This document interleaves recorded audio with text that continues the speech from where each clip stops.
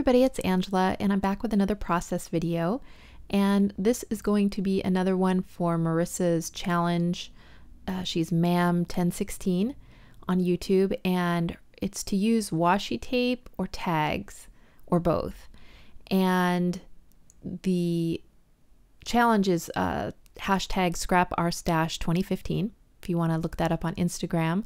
I don't have an Instagram account, so I'm just kind of doing it here on YouTube. And I had this crepe paper notes and things collection still on my desk. I did a, a baby boy page with it last time using more of the teals and yellows. So I thought I'd go ahead and do a baby girl layout with it this time using more of the pinks and craft. And so I'm just gutting this piece of paper. I'm going to use the craft as my border to uh, mount my layout on. And so I just save this. I don't actually use it on the layout, just the border, but that way I still have some of it to play with. And then I also love this pink um, kind of scalloped paper, and that's going to be my background. So I'm just going to go ahead and mount it onto this diagonal stripe right now. So then I know, you know, what real estate I have to work with. And you saw earlier there, I had pulled out some little envelopes, and those are some envelopes I got at Goodwill. And I got a box of 500 of these little envelopes uh, for like $2.99. So I use them in my junk journals. I bind them into journals and stuff. And I use them on scrapbook layouts just wherever I can because, you know, I've got 500 of them. So at first, I'm thinking of just doing rows of two because having three across was a little bit crowded. So I was thinking of doing something like that and leaving some open spaces. And then I thought, oh, heck, why not? I'll just go ahead and use three across and use nine of them on here. And then I'll have some of them open and some of them closed. And so this is a, a busier layout than what I normally do. So it's a little bit different for me. And so our challenge was to use the washi tape. I try to use tags later, but it doesn't actually work out. But I do use a lot of different washi on this. And I'm going through all my pinks and reds because I have that. You can kind of see on the right there that little Jolee's embellishment pack. And I had got that at, I think it was Joann's or Michael's on sale. And so I just wanted to try to use that whole pack of embellishment. So I'm kind of matching the reds and pinks of that embellishment pack to the washi tape that I'm pulling out. So I go through all my reds and pinks and just pull out ones that I like. And my thought process was that I was going to put some washi on each envelope just to give it some more color. And then I'm going to do some die cuts uh, right through the washi on the envelopes. So you'll see that here in a minute. So I just start out and I'm overlapping a few and pulling in some of that red. And there were two of the tapes, that love one right there, and one other that I had never used before. So it was good to get those out and, you know, get some of it used. All the others I had used portions of in the past, but two of them I had not. Yeah, I think this arrow here was the other one I had never actually used before. So I go ahead and I'm layering these on here and I'm layering them all on the right hand side. And I realize here in a little bit, it's like, um, why don't you do some going off the left hand side? So I will, I think, pull one of those up and put my tape on the left hand side. I don't know. It's like you do something and I don't know, then you're on autopilot and you just keep doing the same thing. So it, it took me just a little bit to, yeah, to realize what I was doing and change it up. So I also put this little tiny thin paper tape on there that has a little bit of gold because I'm going to try to use mostly gold accents because that kind of matches the craft paper better. Um, even though I think the Jolee's embellishments have a little bit of silver on them. So there you can see I was kind of pulling one up and now I'm going to put the tape back on it and um, put it on the other side just to change it up a little bit. So there I put more of that gold paper tape on there. And I don't think that I put it on all the envelopes, but I, I think on most of them. So this was kind of fun, something a little different than what I normally do. And my camera battery, battery will uh, run out on me at one point, and then I'll have to go through with you what you miss, but it's not too much. So now I'm going through my die cuts because, like I said, I want to die cut through these envelopes and um, I'm kind of making this Valentine themed, although I don't want it to be to say Valentine on it, but I want it to be kind of like little Valentine envelopes and little hearts and lots of pink and red. So I'm going through all my die cuts looking for ones that are small, small enough and that are little hearts or love themed. So a lot of these, that one says love, that's an artisan word. The purple ones are from Hot Off the Press. And then that's a Technique Tuesday that I hadn't cut out of the thing yet. So that was another one I hadn't used. I think all the other ones um, I had used. So yeah, that one I had not used before. And so there I went to my die cut sheen and cut them out. And then I'm saving the little pieces that came out um, to use as accents. And then um, that leaves a hole in my envelopes. And so I'm going to back those holes with some glitter paper here in a minute. But I'm just kind of popping out the insides, the interior cuts. And just kind of saving the good pieces. And then that one I just did love. That one's doesn't have any washi tape on that one. So there are my envelopes, and then I go to find something to back all my um, evacuated spaces with. So I go into my specialty papers and I find this pink glitter paper, which I like. Um, but it was a pretty intense pink. I find that other gold, but it's kind of a greenish gold and it didn't really go so much with the craft. So I'm pretty sure I have a piece of gold glitter paper and then right there I find it. So I go back and forth. At first I thought I was going to use the gold and the pink and mix it up, but in the long run I just go with the gold. So here I am just cutting some pieces and I'm thinking to back some of them with the pink but eventually I just go completely with the gold. And that pulls in that craft color from the border.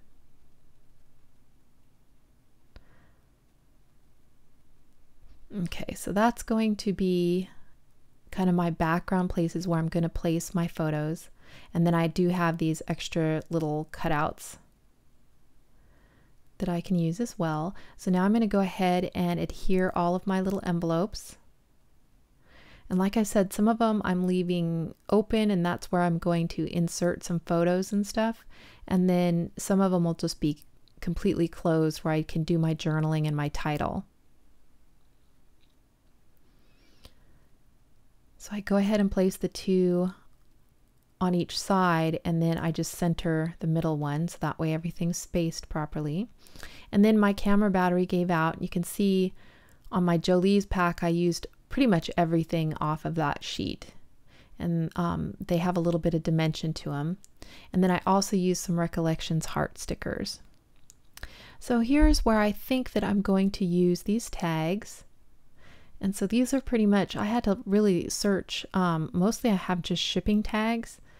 And so these are all my decorative tags. And I don't really have a lot. I use them quite a bit when I um, make junk journals and bind them into the junk journal. So I do use my tags pretty good. So I like the colors of these tags and I like the idea of the tags, but I want my pictures to be seen. I don't want them to be completely tucked into the envelope. And you can see here, if I put it on the tag, it hides too much of the photo or I have to pull it up too high out of the photo and then the tag is too big. So you'll see here what I do instead. Um, I decide to just mat the photos and not put them on tags. So I go back into the notes and things collection pack looking for uh, different papers I can map my photos on. And I find this cut apart sheet, it has some really pretty pinks and stuff on it. So I decide to cut out a few of the pink tags on there and use those for backgrounds because I really don't want to introduce any more colors because this is busy enough as it is. So I'm just cutting out this kind of library card and this pink card. And then there's this one, little tiny card. And then that paper had yellow in it, so I decided not to use that. And so I start out with these cards. And then these are all little pictures of Allison, Allison and her daddy, and Allison and her cousin Mason. So I'm just kind of figuring out what picture I'm going to put where. And I kind of like that upper right hand one, not really mounted on a photo, but just, or mounted on a mat, but just kind of offset from the mat. And I'm still trying to fit that tag in there, but it just, the tags just aren't working. But I go ahead and I trim this one down and I go ahead and map my photo on it. And then this one I'm going to let overlap on the envelope above it because that envelope above is where I'm going to put my journaling. So there's not going to be anything else on it. So it has room to overlap. So I go ahead and I commit to that one. I just overlap that up there. And then I like that one just kind of offset from that little tag. So I put that one in the center of the envelope. And then this one, I really like this tag. So I'm thinking about just leaving that photo floating and not tucked into an envelope. And here's where I decide to just, I really like the color of the tags and stuff, so I decide to use one of the tags as my mat and just cut the top of the tag off.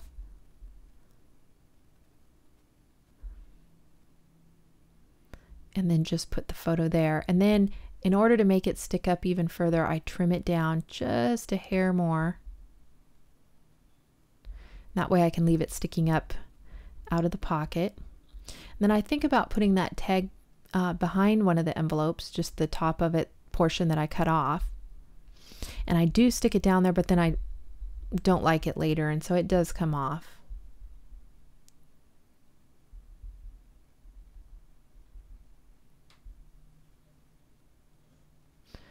And so I go ahead and I put that down for the moment.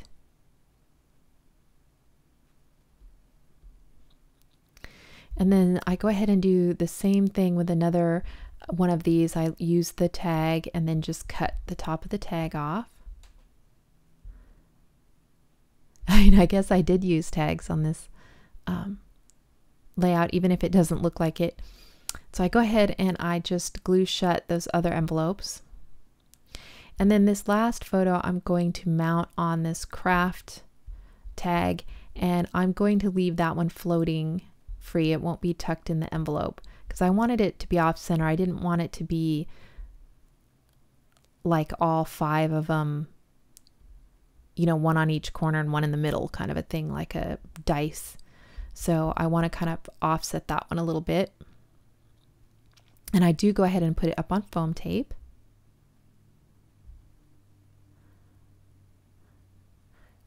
So I go ahead and I pop that one there. And then I want to, my title is kind of the big love, or that's what your eye is drawn to. Um, so I want to put her name on it. And I want to use these little, the little center cuts out of my die cuts. So this really turns into a pretty busy layout. I don't know if it's a win or a fail. I, I don't know. Um, I mean, I like the layout and I think it's cute and everything, but I'm not sure. Um, it just kind of is scattered all over the page. And I guess that's okay because it's different from some of my other stuff. And like I said, it's still cute and everything, but I guess it, maybe it's just not not my style so much. I don't know. You'll have to let me let me know if it's a win or a fail. so I go ahead, I have that one other heart here. And then I have this that one little tiny one that I put up by Allison and Mason. And then I also have these little enamel dot hearts. And so I go ahead and I scatter those around. I mean, I've already got so much on here, I might as well go all the way.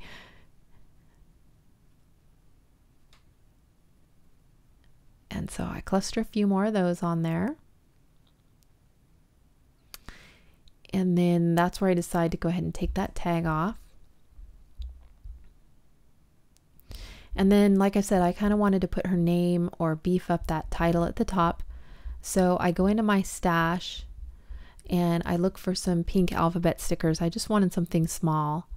And I find some Studio Calico stickers that are really pretty color and I hadn't used them uh, because I didn't really like the font on them. It's kind of a strange font. Um, yeah, it's just kind of weird, but it's not bad or anything.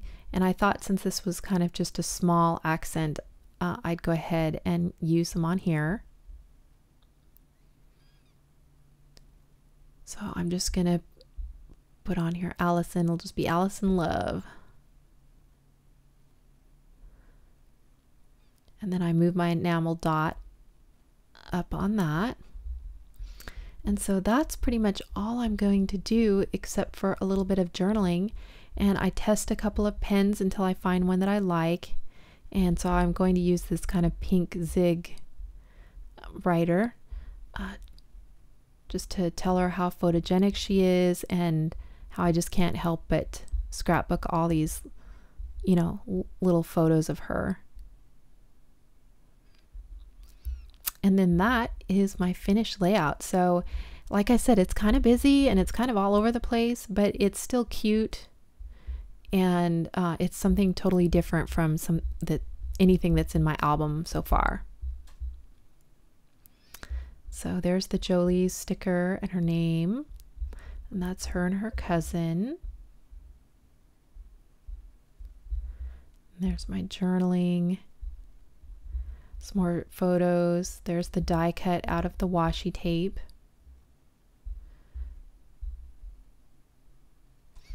And I really love how the envelopes turned out with that gold cut out and the washi tape and stuff on there. It really took those blank white envelopes, you know, and made them something special.